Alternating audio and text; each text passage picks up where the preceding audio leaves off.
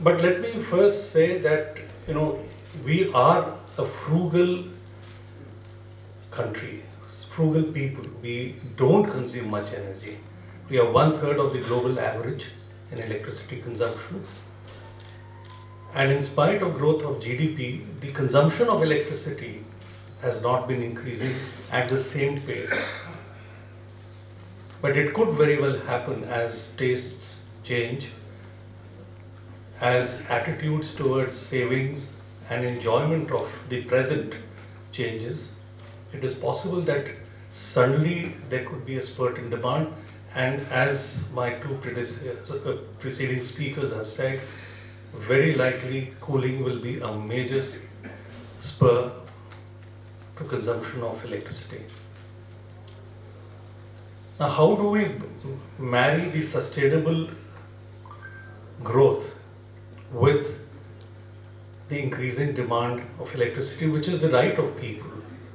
It's not that they are over consuming today. As I said, it's one third of the global average.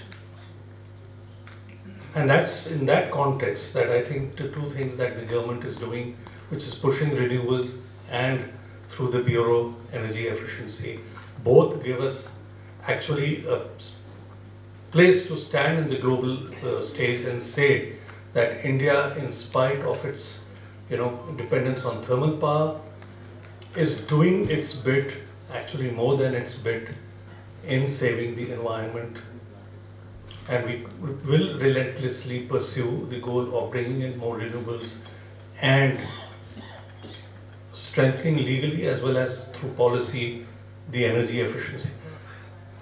I remember I was reviewing some issues and one of the key issues that came up in adoption of uh, some of these technologies by the MSME sector, which actually is an energy guzzler in a sense, is financing.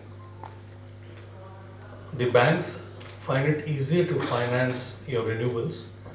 They find it very difficult to buy the idea that there will be saving. And it is from this saving that a particular firm will be able to repay the loan. So the key point here is how do we get cheaper finance into the system?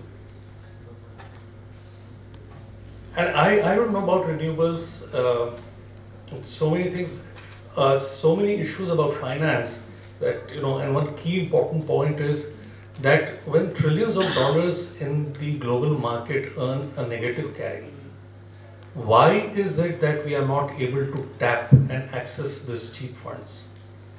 I would very much like gentlemen and ladies to deliberate on this issue, to tell us how, what is the reason. Again, you have trillions of dollars which have a negative rate of interest.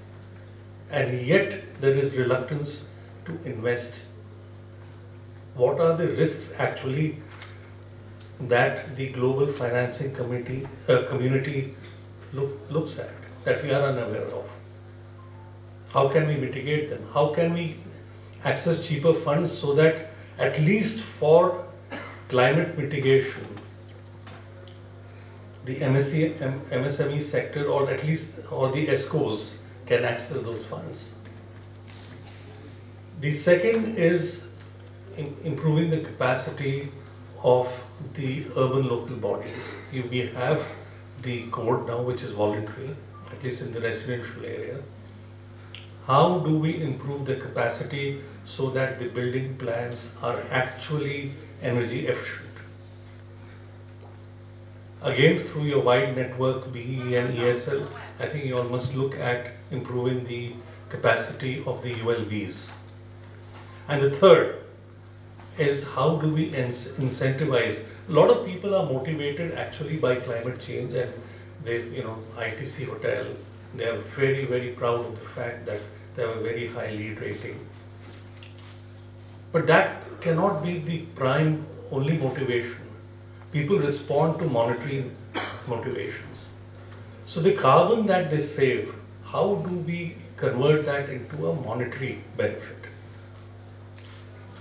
I leave these three issues with you.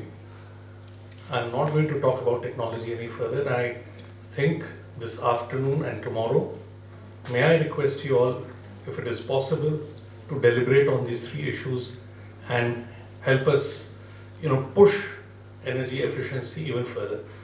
Happy birthday again, and I must compliment you on the incredible work you all have done since the time you were born.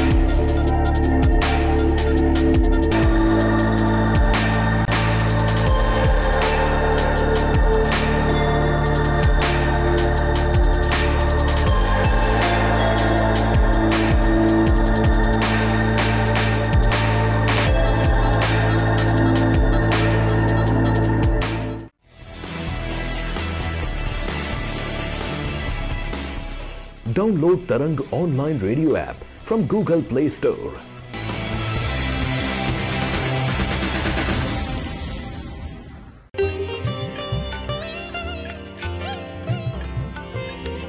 You are listening to Tarang Devotional Online Radio.